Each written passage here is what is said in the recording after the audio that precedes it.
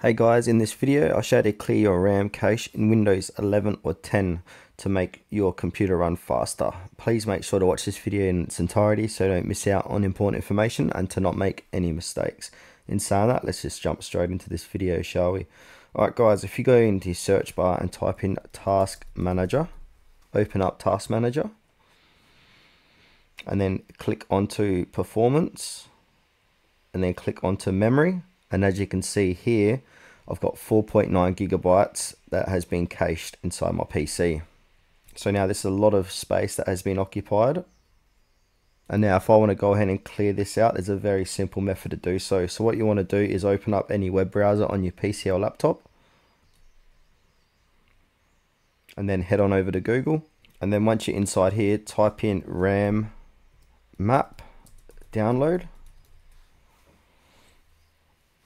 and then click into RAMMap from Microsoft.com and then download RAMMap 671 kilobytes so it's a very small file. And once that is download go to your download section and go ahead and open that up. A zip file. Alright here it is inside my download section on my computer. So what I want to do is right click it and then click on extract all I'm gonna so um, you can browse but I'm just gonna leave it there to extract it. Right, now the files have been extracted. Alright so once you've extracted your files you want to click on RAMMap. It will be the larger file size out of the three. So right click it and then click on run as administrator.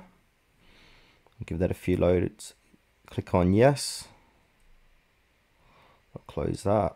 Close that and I'll keep my task manager open side by side. So as you can see cached is 1.6 gigabytes now.